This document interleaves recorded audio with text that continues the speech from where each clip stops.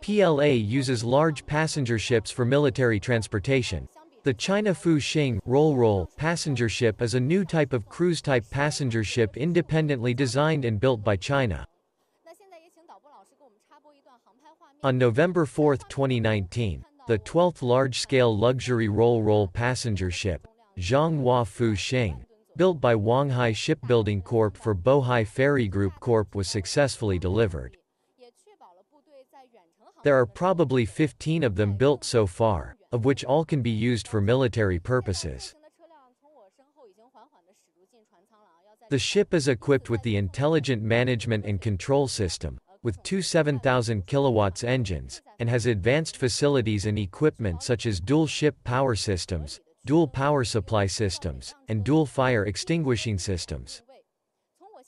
The ship's deck can directly land the helicopter. Zhonghua Fu Xing is the largest cruise-type luxury roll-roll passenger ship built by Bohai Ferry at a cost of 420 million yuan.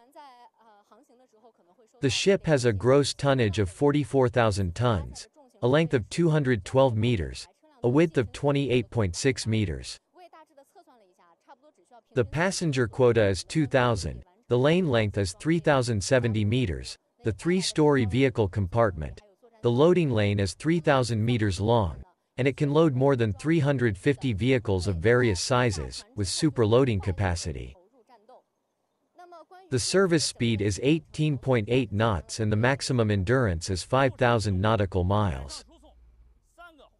It has good design stability and hull strength, and meets the latest international regulations such as vibration reduction and noise reduction, energy saving and environmental protection.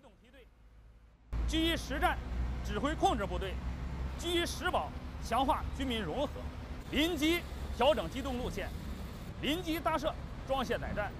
临机调换装载船只，立足最复杂、最困难局面，检验评估部队快速反应和机动部署能力。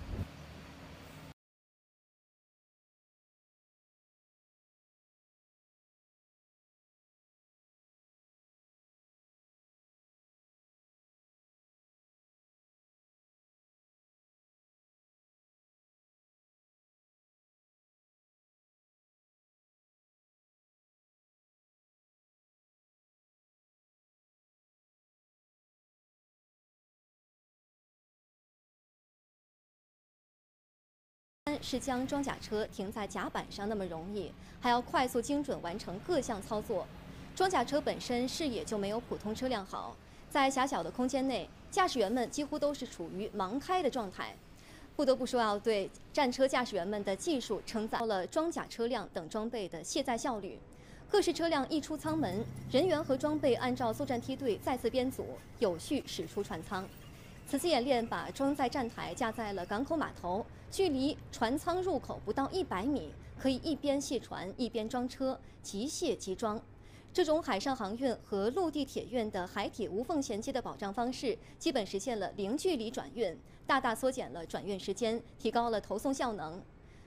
列车梯队同时在三纵三横六条铁路装载线上展开装载，他们首次将野战站台车投入使用。结合轻型组合站台，多点位、多路线同时装载，最大量满足装卸载工作，确保所有人员装备按时投送，同时也确保了运输部队人员和装备能以更好的状态投入到未来战场。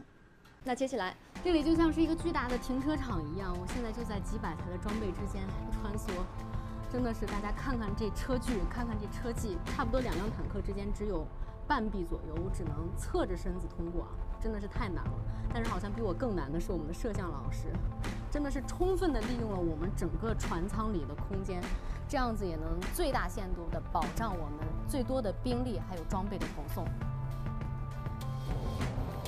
为了确保战斗力，部队都是按照作战编组去投送的。那在一轮波次投送的装备当中，除了一些主战的装备之外呢，还有像是医疗车、修理车、工程车、侦察指挥车辆等一些保障的装备。那在海上航渡完成到达预定的集结地域之后呢，就能确保部队快速的进入到战斗当中。